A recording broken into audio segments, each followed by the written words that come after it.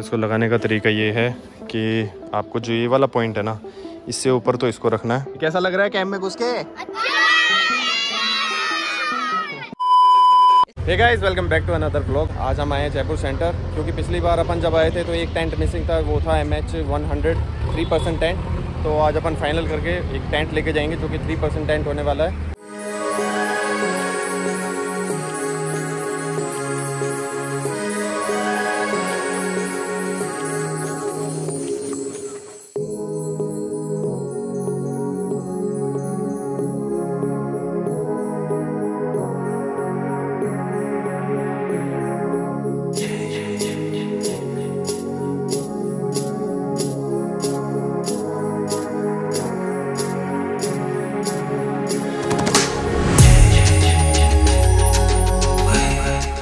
पे यार वो जो तीसरा टेंट मतलब मिसिंग था उस दिन, वो अपने सामने। तो ये इसके अंदर का स्पेस है भाई, ये कुछ स्पेस है। और ये है अपना 5000 वाला, केचुआ का fresh and black three percent tent और बाकी की बातें अपन करेंगे बाहर, जब इसे अपन ले लेंगे। फ़िलहाल अपन यही फाइनल कर रहे हैं। तो अपन लेंगे केचुआ का फ्रेश एंड ब्लैक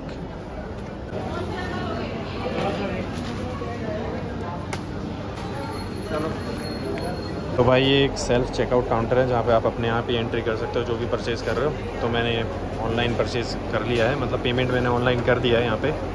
तो भाई अपना सेल्फ चेकआउट हो चुका है और अपनी स्लिप आ गई है यहाँ पे। चलो होगा कितना? आ गया भैया फोर ट्रिपल नाइन का पड़ा अपने को ये। One hour later. हाँ तो जी हम आ गए अपने घर पे अपना कैंपिंग सेटअप लेकर। तो मैं आपको दिखाता हूँ अपना कैंपिंग सेटअप तो ये अपना कैंपिंग सेटअप आ चुका है घर पे तो मैं आपको माउंट करके दिखाता हूँ।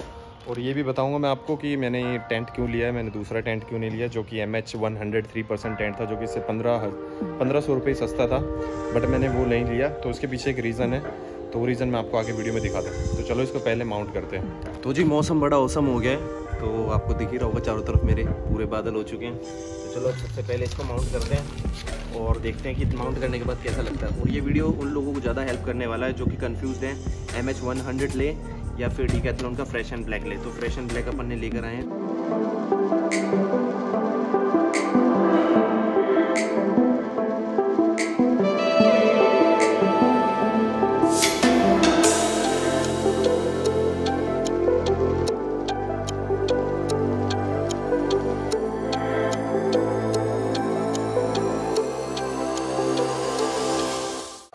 विद इन फाइव मिनट अपना जो सेटअप है वो कंप्लीट हो चुका है और अभी अपन दिखाते हैं पूरा चारों तरफ़ 360 तो ये काफ़ी दिनों से शायद ऐसा था तो इसकी जो स्ट्रिप है वो खींच के रखनी पड़ती है। तो अभी हमारे पास ये फ्लैट सरफेस है, जिस वजह से ऐसा दिख रहा है। जब ये खिंच जाएगा, जब इसकी रोप्स ऐसे खींचेगी लाइक दिस तो ये स्ट्रेट हो जाएगा। तो यहाँ पे जो हुक्स दिए हुए हैं तो यहाँ पर एक रोप लगेगी। जो कि सीधा मतलब टेंट से थोड़ी सी दूरी पे कील के सारे खड़ी हुई है। तो चलो अंदर चलते हैं अब इसके। तो चलो खोलते हैं इसको भाई।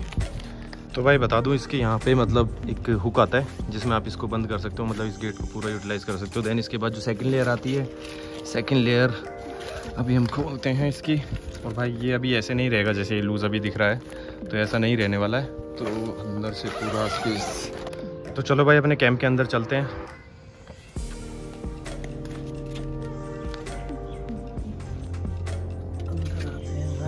तो भाई अंदर से नज़ारा कुछ इस तरीके का है, देखिए आप। तो ये ऊपर हुक है, अगर आपके पास लैंप वगैरह है तो उसके लिए लाइट वगैरह के लिए है यहाँ पे। और ये आपको दिख रहा होगा, यहाँ वेंटिलेशन का सिस्टम है। तो वेंटिलेशन आपको कुछ इस तरीके से मिल जाएगी, और आपको सिर्फ़ ये खींचना होगा।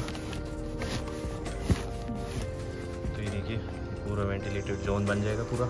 यहाँ से भी, और सेम आपको यहाँ से भी ये वेंटिलेशन का सिस्टम मिल जाएगा।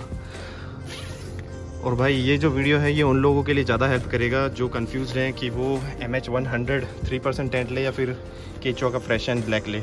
और बहुत ज़्यादा स्पेसियस है ये।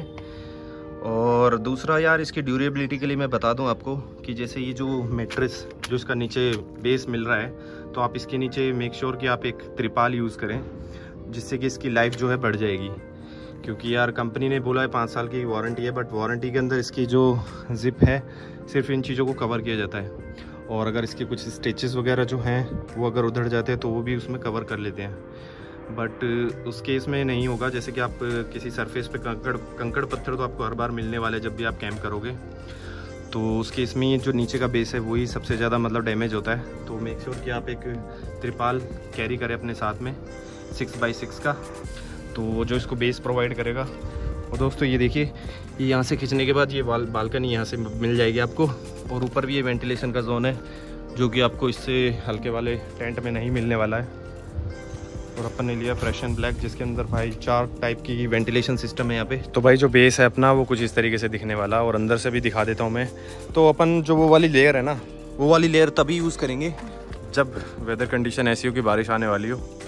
तो भाई अंदर से देखिए कितना लाइट लाइटफुल एरिया है। तो चारों तरफ़ आपके यहाँ वेंटिलेशन है और हवा भी आ रही है। मैं हवा भी फील कर पा रहा हूँ यहाँ से जो हवा आ रही है। और पूरा बड़ा सारा व्यू देखिए यहाँ से। और ये देखिए मैं और भाई दिखा देता हूँ मैं आपको, मेरी हाइट है फाइव फिट एट इंच तो यहाँ से देखिए कितना स्पेस बच जाता है। मतलब छः फिट से भी ज़्यादा का बंदा इजीली यहाँ पे सो सकता है। तो चाहे ऐसे सो जाए या ऐसे सो जाए।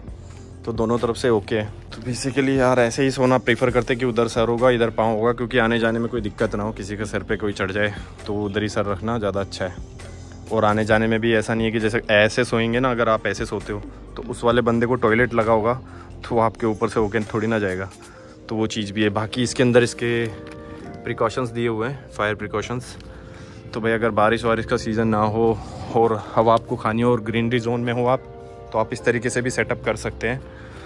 तो ये टू लेयर हो जाती है। तो चारों तरफ़ से दिखा देता हूँ किस तरीके का दिखता है। तो अंदर फुल्ली वेंटिलेटेड जोन मिल जाएगा आपको। ये देखिए भाई, ये है कुछ नज़ारा अपने टेंट का और बहुत सुंदर दिखाई दे रहा है। तो यार मैंने टू परसेंट टेंट नहीं लिया क्योंकि यार मुझे मतलब जो कैंपिंग होती है वो दो बंदों से कम मतलब दो बंदों से कम तो क्या ही करोगे आप। और अपने को करनी है ग्रुप में कैंपिंग तो मिनिमम अगर दो भी बंदे होते हैं तो वो आराम से खुल्लम खुल्ला यहाँ पे सो सकते हैं। वैसे तो इसके अंदर जो जितना स्पेस है, उसमें आप चार लोगों को भी आराम से सुला सकते हैं। बट मैं प्रेफर करूँगा कि दो या तीन मैक्सिमम तीन लोग ही इसके अंदर स्टे करें, ताकि आपका सामान वगैरह यहाँ और यहाँ लगाया जा सके। और ये देखिए सब कुछ, अंदर का नज़ारा। और इसको लगाने का मैं तरीका बता दूँ। इसको लगाने का तरीका ये है कि आपको जो ये वाला पॉइंट है ना, इससे ऊपर तो इसको रखना है। और इस वाले को नीचे रखना है। तो ये चारों तरफ़ ये वाला आप ध्यान रखना कि ये वाला जो सिल्वर, जो कि ये पॉइंट है, इससे ऊपर रखना है। तो ये देखिए चारों तरफ़। तो ये सबसे ऊपर यही रखा जाएगा। भाई अंदर मैं इसको बंद करके भी दिखा देता हूँ कि पूरा जब बंद कर देते हैं तो कैसा हो जाता है। भाई ये एक हाथ से भी बंद हो जाता है। इतनी स्मूथ है इसकी जो जिप्स हैं, वो बहुत ज़्यादा स्मूथ है। तो लो जी अपना ये पूरा पैक हो चुका है और मैंने सारी जिप वगैरह बंद कर दिए। तो ये वेंटिलेशन का वैसे तो हवा इधर से आ रही है। बट फिर भी अगर आपको एक्स्ट्रा एयर चाहिए हो तो भाई इसको खोल सकते हो आप। Four B H K room बन गया अपना। तो ये देखो क्योंकि भाई अभी पसीने मुझे इसलिए आ रहे हैं क्योंकि मैंने अकेले ने टेंट सेटअप किया है और गर्मी बहुत ज़्यादा हो रखी है। और राजस्थान में यार आप जानते हो कि गर्मी के मौसम में कैसे मतलब हालात रहते हैं। तो 40-45 डिग्री भी टेम्परेचर हो रहा है तो नीचे जो सरफेस है वो ज़्यादा काफ़ी हॉट है। जिसकी वजह से मतलब इसके नीचे कुछ है भी नहीं। तो मुझे यहाँ से हीट मिल रही है। बाकी ऊपर से जो वेंटिलेशन का जो सिस्टम है टेम्परेचर ऊपर से मतलब ज़्यादा नहीं लग रहा मुझे। तो भाई इस टेंट के साथ जो चीज़ें आती हैं, वो मैं आपको दिखा देता हूँ। तो इसमें बेसिकली आपको 12 तरीके की हुक मिल जाएँगे और एक एक्स्ट्रा रोप मिल जाएगी जिसके तो भाई ये आपको इसके साथ मिलने वाला है।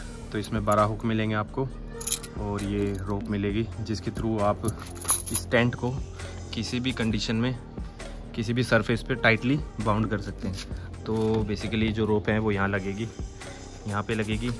और अगर आप चाहते हो तो इस जगह पे भी वो रोप लग जाएगी। हाँ तो जी इसका वेट भी मैं आपको बता दूँ, इसका वेट है तकरीबन 4.1 केजी तो 3 परसेंट टेंट है ये। और फाइव इयर्स की इसकी वारंटी है, जैसा कि आपको दिख रहा हूँ। तो फाइव इयर्स की वारंटी है। और भाई फ्रेश एंड ब्लैक आपको पता ही चल रहा होगा कि इसमें टेम्परेचर डाउन रहता है अंदर और अंदर अंधेरा रहता है 99 परसेंट और भाई इस टेंट की खासियत ये है कि सर्दियों के टाइम पे जब स्नो गिर रही होती है तो इसके इसमें इसका माइनस सेवनटीन डिग्री सेल्सियस तक टेम्परेचर ये बियर कर सकता है। और बेहतरीन वेंटिलेशन सिस्टम होने की वजह से मैंने इसको परचेज़ किया है। हाँ तो जी बेसिकली ये टेंट उन लोगों को हेल्प करने वाला है, जो लोग स्पीति, लाहौल और काफ़ी टफ़ कंडीशन में कैंपिंग करने की सोच रहे हैं।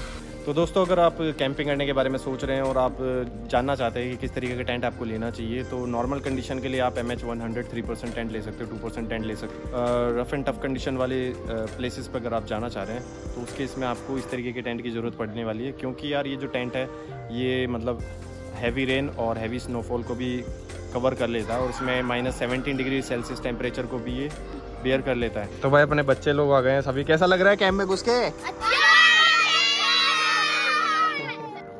को कैंप के मज़े दिला रहे हैं और कैंप में अच्छे से आ गए हैं। तो ज़्यादा गिचपिच थोड़ी ना हो रही है ज़्यादा ऐसा थोड़ी ना लग रहा है। मज़ा आ रहा है? खिड़की खोल लो चलो अब खिड़की खोल लो। बोरी बंद है वरी वरी खिड़की बेटा फाड़ मत देना खिड़की को। तेरे पीछे भी है कार्तिक? तेरे पीछे भी है। इसको तो बंद कर दो हम टेप ले देंगे फिर अंदर। अच्छा करता हूँ बंद। अंदर से बंद कर लो ये। अगर खिड़की खोलनी हो तो वो खुल जाएगा।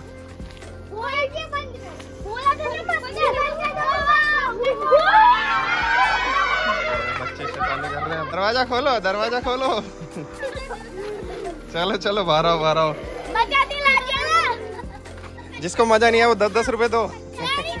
जिस जिसको मज़ा नहीं है वो दस दस रुपए दे के जाना भाई। क्या कर गया है? तो ना कर क्या अभी? अंदर पानी लेके गया था? जो सबसे पहला डिफरेंस नज़र आता है M H one hundred three percent tent और केचुआ फ्रेश एंड ब्लैक के अंदर तो वो सबसे पहले मटेरियल का आता है, जो ये है, काफ़ी मोटा फैब्रिक यूज़ किया हुआ इन्होंने। और इसमें मतलब फोर लेयर्स है और वो जो एम एच वन हंड्रेड आता है, वो सिर्फ़ थ्री लेयर्स हैं। और उसके अंदर मतलब दिन में भी रोशनी आती है और रात में भी रोशनी आती है। और सर्दी गर्मी में मतलब उसमें ये रहता है कि सर्दी अगर होती है तो अंदर उसका इफ़ेक्ट बहुत ज़्यादा पड़ता है। बट इसके अंदर ये होता है, इसके अंदर माइनस सेवनटीन डिग्री सेल्सियस अगर बाहर टेम्परेचर होता है तो अंदर फिर भी नॉर्मल टेम्परेचर दिखाता है ये। दूसरा इसमें जो ये ब्लैक कलर की कोटिंग है, पहले वाली तो ये अपने को मतलब नाइन्टी नाइन परसेंट इसके अंदर डार्कनेस प्रोवाइड करवाती है।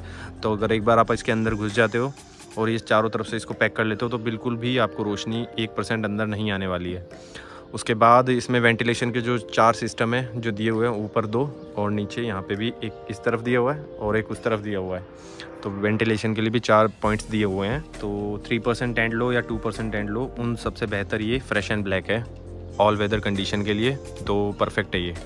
इसलिए हमने इसको परचेज़ किया है। बाकी चार्जेस के अंदर इसका मिनिमल जो 1500 का डिफरेंस है 3500 का एम एच टेंट हमें मिल रहा था थ्री परसेंट और फ्रेश एंड ब्लैक केचुआ का जो है वो हमें पड़ रहा था 5000 का।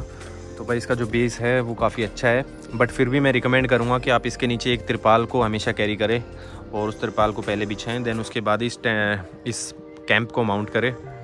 तो इसकी ड्यूरेबिलिटी जो है नीचे की काफ़ी बढ़ जाती है। क्योंकि यार, आप जिस भी सरफेस पे अगर कैंपिंग करने वाले हो तो ऑब्वियस ही बात है, वहाँ पे आपको हर जगह घास तो मिलने वाली है नहीं। तो कंकड़ पत्थर से क्या होता है कि जो नीचे का जो फैब्रिक है, वो ख़राब होता है। तो भाई ये था अपना कुछ कैंप और बाकी की जो चीज़ें हैं, जैसा कि आप सोच रहे होंगे कि यार, बाकी का जैसे स्टोव हो गया, आपका स्लीपिंग बैग हो गया मैट्रेस हो गया लाइट वगैरह हो गया तो ये चीज़ अपन ने डी स्टोर से नहीं ली है, क्योंकि यार रेट का जो है काफ़ी ज़्यादा डिफरेंस आ रहा था तो लाइट अपन बाहर से भी ले सकते हैं। ऑनलाइन ही मैं उन सब चीज़ों को ऑर्डर कर रहा हूँ तो जैसे कि मैट्रेस हो गया और इसके अंदर जैसे बल्ब हो गया, जो यूएसबी बल्ब मैं ले रहा हूँ और तीसरा स्टोव ले रहा हूँ ब्यूटेन गैस का सिलेंडर ब्यूटेन गैस के कैंस मंगा रहा हूँ और एक मैट्रेस मंगा रहा हूँ। तो ये सारी चीज़ें अपन मंगवा रहे धीरे धीरे ऑनलाइन करके। बाकी ये कुछ था कैंप के लिए और जैसे जैसे नई चीज़ें आती रहेगी, वो मैं आपको दिखाता रहूँगा। तो चलिए दोस्तों, इस वीडियो में इतना ही था और मिलते हैं किसी अगले वीडियो में। टिल दिन अपना ख्याल रखिए और अपने परिवार का ख्याल रखिए। बाय खत्म। Bye bye tata goodbye गया।